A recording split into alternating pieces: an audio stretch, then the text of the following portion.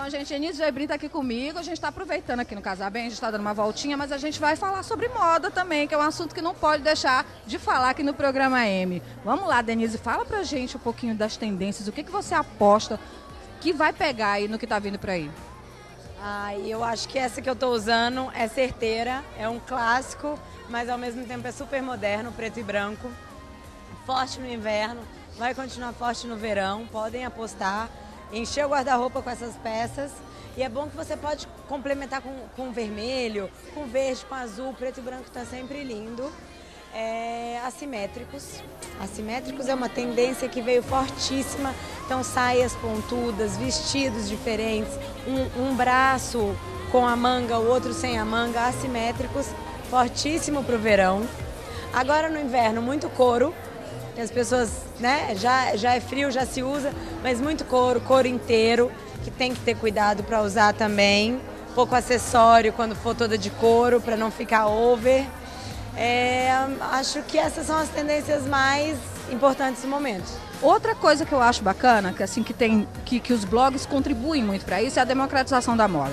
Aquela coisa do look do dia meio que traz aquela roupa da passarela para uma mulher real, né? Eu queria que você ajudasse a gente a montar o nosso look do dia. Como eu posso pegar aquela, aquela roupa da passarela e introduzir no meu guarda-roupa sem chocar ou sem é, ter que comprar muitas coisas? O que, que você indica? Eu acho que essa é a grande confusão, né? As pessoas querem tirar o que está na passarela para usar. Não é isso. A ideia da passarela é mostrar o que o estilista pensou para aquela estação, quais são as cores, quais são as formas, qual é a ideia dele. Não necessariamente aquilo vai direto para a loja. Existe um estudo em cima daquilo, existe uma transformação e aí aquilo vai ser feito de uma forma comercial para ser vendida. Mas você consegue usar um look ou outro da passarela sim no seu dia a dia.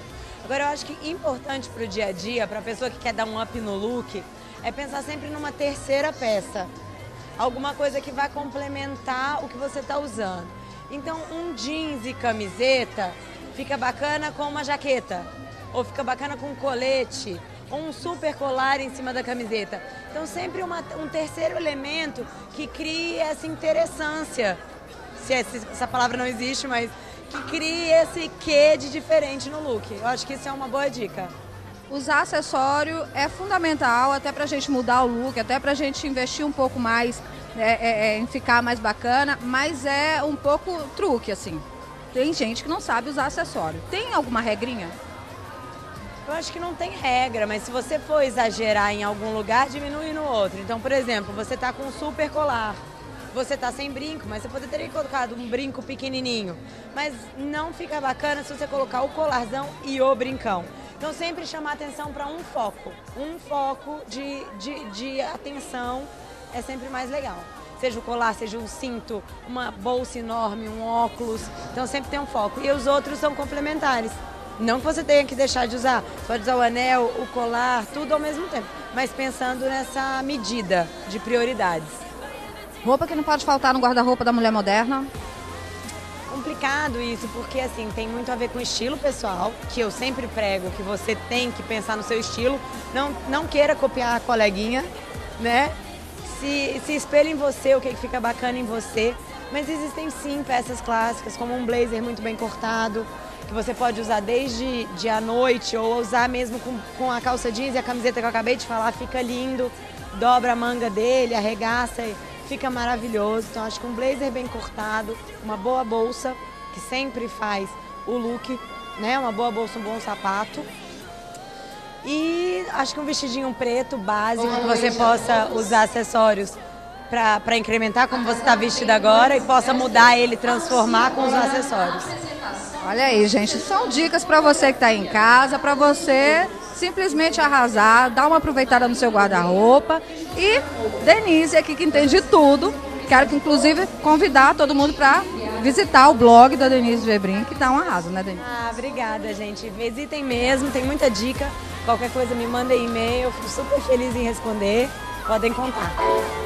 Obrigada.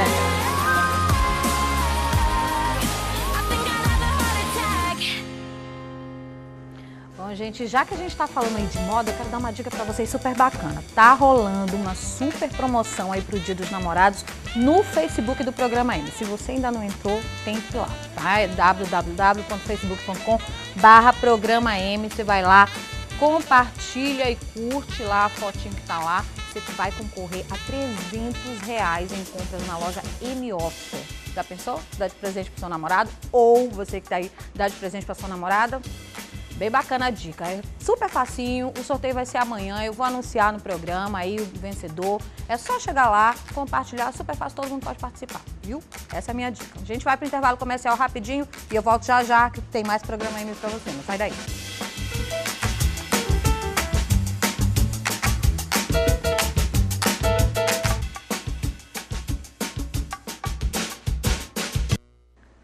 De volta e agora a gente vai ver um bate-papo sobre joias e tendências com as meninas da Epifani Joias. As peças que estão assim fazendo a cabeça de todas as blogueiras do Brasil inteiro e que foram expostas na Casa Bem. Vamos dar uma olhada.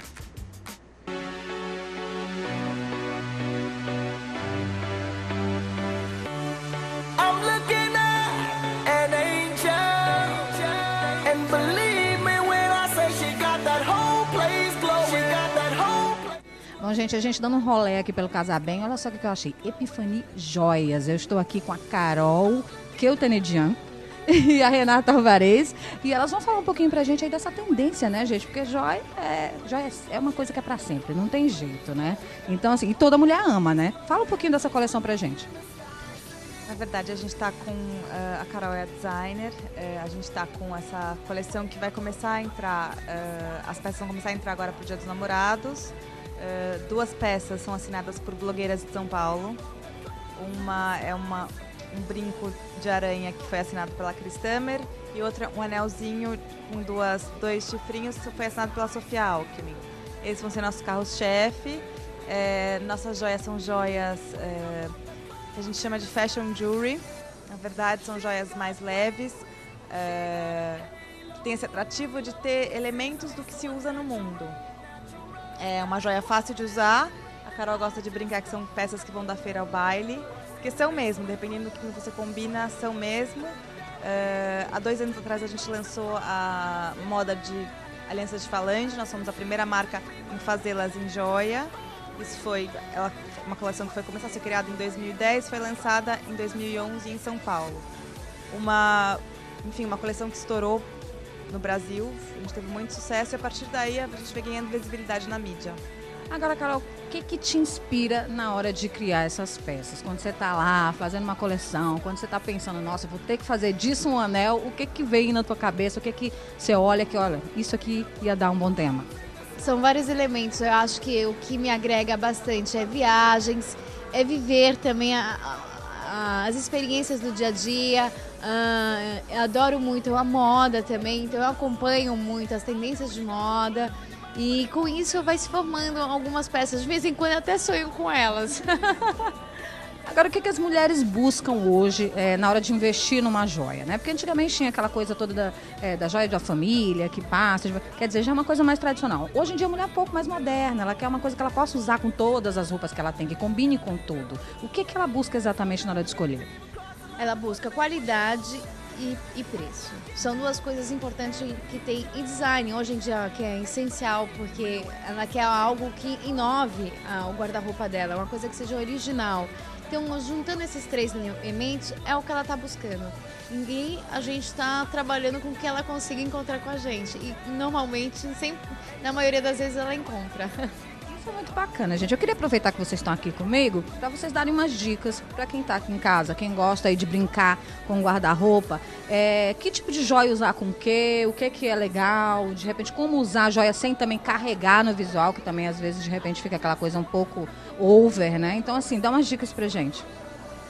Eu acho que é, a gente nunca erra quando a gente usa, por exemplo, um colar mais solto. Eu acho que é uma coisa que a silhueta, independente do nosso biotipo. Acho que é uma coisa que sempre vem a favor. É, claro que a gente não pode, por exemplo, se a gente vai com uma roupa muito estampada, a gente não vai investir num colar com muitas, muitas pedras. Acho que para não tomar cuidado para não carregar na informação, né? Porque pra, eu, eu, eu, eu sou adepta, completamente adepta a brincos pequenos. Eu acho que vai, a gente passa a corda, coloca. Eu não consigo trocar muito de brinco. Para mim, eu como tenho filha, eu tenho filhas pequenas, o brinco tem que ser funcional. Não adianta senão minhas filhas vão me puxar. É, Então eu acho que assim, colares de pérolas, hoje em dia a gente está tá muito na moda esse, o tessel, que é esse frufru aqui. É, é uma tendência que a gente vê que está aparecendo no mundo inteiro. É, pulseiras. pulseiras, pulseira de mão, é, que tem como, como, essa daqui, que é a cobra. Eu acho que hoje em dia, é, especialmente nesse ano, a serpente vem muito forte, os animais vêm muito fortes, tudo que for de, de animal que vem para o mundo das joias está muito uh, em alta. É, mas eu acho que se você for perguntar para mim, eu adoro anéis diferentes. Uso meu anel no dedão. Acho bacana. Gosto, coloco meus anéis na falange também. Eu gosto de mudar, eu não gosto de usar sempre a mesma coisa. Eu gosto, de, por exemplo, se um dia eu cansar desse anel do dedão, no dedão, acho que eu posso passar para o indicador e eu vou ter um mood diferente de coisas. É isso. Olha aí, gente, boas dicas para você que está em casa, boas dicas para você investir, inclusive, numa joia, que eu acho que é, é uma coisa para sempre, né? E todo mundo gosta de dar aquele up no visual. Então a gente vai mostrar aqui algumas peças para vocês e você que está em casa, fica ligado.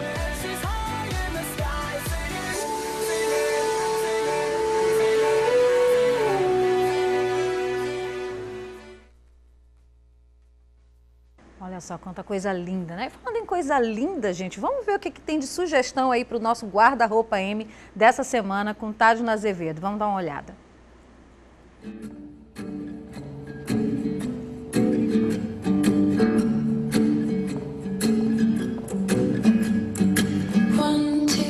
Hoje eu vou falar de mais uma parceria de sucesso da Melissa. A Melissa sempre inovando, né, gente? E, eu, e dessa vez eu vou falar do estilista Karl Lagerfeld que é um estilista super famoso.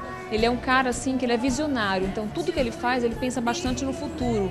E nessa coleção ele mostrou o estilo de algumas mulheres, mais ou menos. Assim, eu vou mostrar alguns sapatos para vocês que são inspiradas em alguns tipos de mulheres e estilos de mulheres. São sapatos que dá para você usar de dia e de noite. Eu simplesmente estou apaixonada, são super confortáveis e eu vou mostrar para vocês.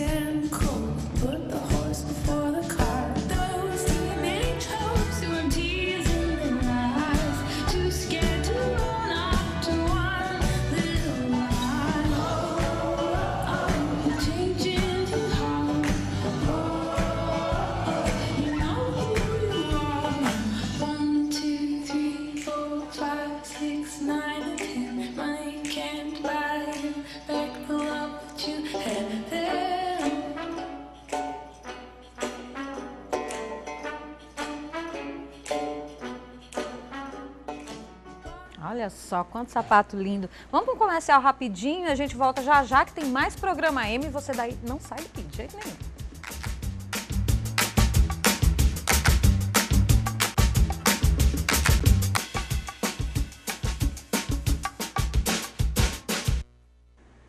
Estamos de volta e agora você vai conferir um bate-papo com a animadíssima chefe Célia Rossetti, que deu um super show de culinária na Casa Bem e ensinou a gente a fazer aí um drink bem bacana para você servir para suas amigas e relaxar aí antes do grande dia ou quando você estiver de bobeira aí na sua casa. Vamos dar uma olhada. One way or another, I'm gonna find ya. I'm gonna get you, get you, get you, get you. One way or another, I'm gonna win ya. I'm gonna get you, get you, get you, get you. One Gente, o programa M invadindo aqui o Dicas da Chefe. Encontrei Célia Rossetti aqui no Casar Bem. Ela que vai cozinhar tudo aqui pro povo. Tô sabendo de tudo. E lógico que a gente veio saber, né? A gente veio fuxicar aqui tudo. Célia, o que é que vai rolar? Tudo. Para começar, uma bebidinha, né? A gente vai fazer um Claris Clicô só para esquentar, né? Porque hoje nós estamos lançando o blog da Célia Rossetti. Então a gente começa bebendo, depois eu vou aqui pilotar o fogão. Adoro essa coisa de pilotar fogão. Gente, pilotar fogão é tudo, mas assim, quem sabe, né? Porque quem não sabe, como eu, chega perto do fogão, se queima, vai dar desastre na cozinha. É só complicação, né? Mas assim, a nossa intenção é exatamente essa, facilitar tudo para que vocês entendam que receber os amigos e que cozinhar não é um, bicho de sete cabeças. É simples, é agradável e pode ser muito divertido.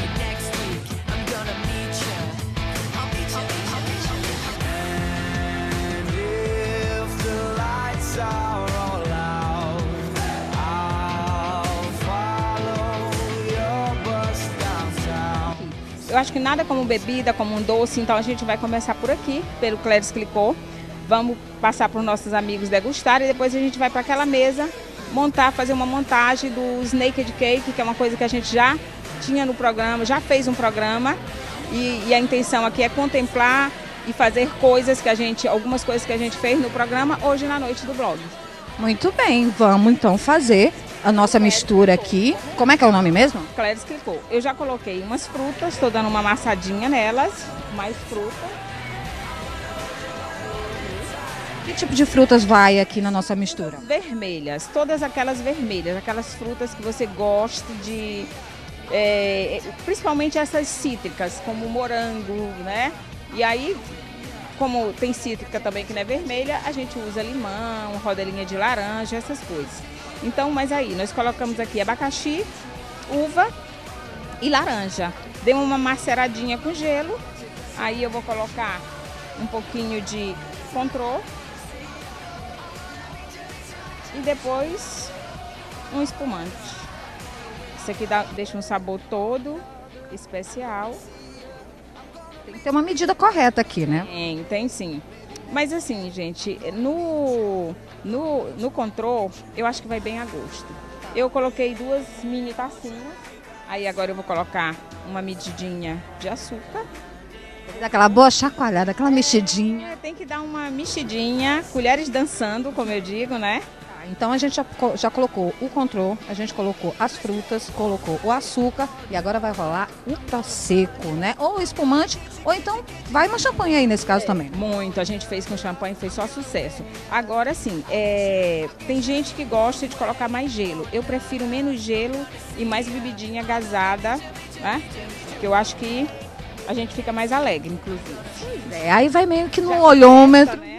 Já que é festa, a gente fica alegre. vai meio no olhômetro e no provômetro também. Provômetro. No provômetro, com certeza. Cara bonita, Célia, ficou bem bonito aí. Fica lindo, lindo, lindo. E gostoso.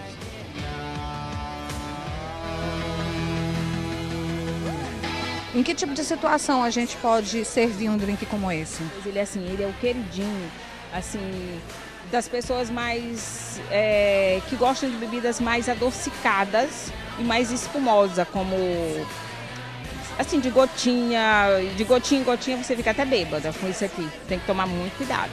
Ah, é aquele suquinho que fica enganando a gente. Aquela coisa gostosa que quando vai, vai. É por isso que eu gosto do programa M do Dicas do Chefe, porque a gente dá só essas dicas interessantes, assim, de suquinho que deixa a gente bêbada. Inclusive, a gente dá as boas, a- a- a- as boas e as más, né?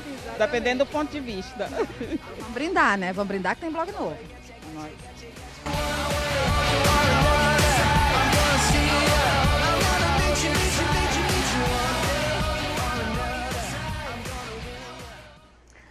Bom, gente, por hoje a gente vai ficando por aqui. Só lembrando que tem promoção rolando no Facebook do programa M. São 300 reais em compras na loja M Office. É só curtir, compartilhar, super fácil. Sorteio amanhã.